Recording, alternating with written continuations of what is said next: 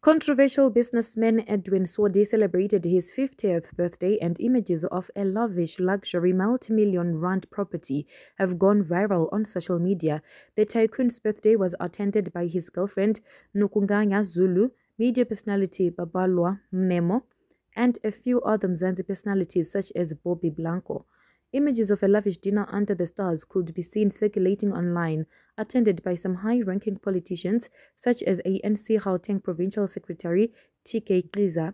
The triple-story house and the ostentatious gold and black decor for the party were shared on various social media platforms, prompting many to start questioning Sodi's wealth.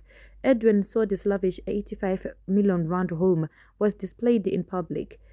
Cyril Ramaphosa has authorized the SIU to investigate a 295 million rand contract awarded to Edwin Sodi's company for the Rooiwal Wastewater Treatment Works project in Tshwane Metropolitan Municipality. Controversial businessman over the years has received a string of lucrative government contracts which have been in the spotlight for poor performance.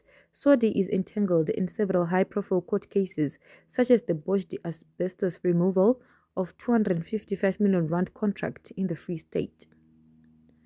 For the past five months, the tender has been at the center of intense debates after it was said to have not been fixed.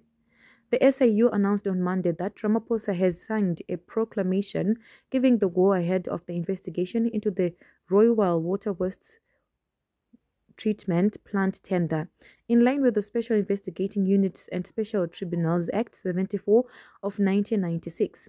The SIU will refer any evidence pointing to criminal conduct it uncovers during its investigations to the National Prosecuting Authority for further action. Ramaphosa and senior officials in government visited the site a few months ago after the outbreak of cholera that left more than 30 people dead in Tshwane.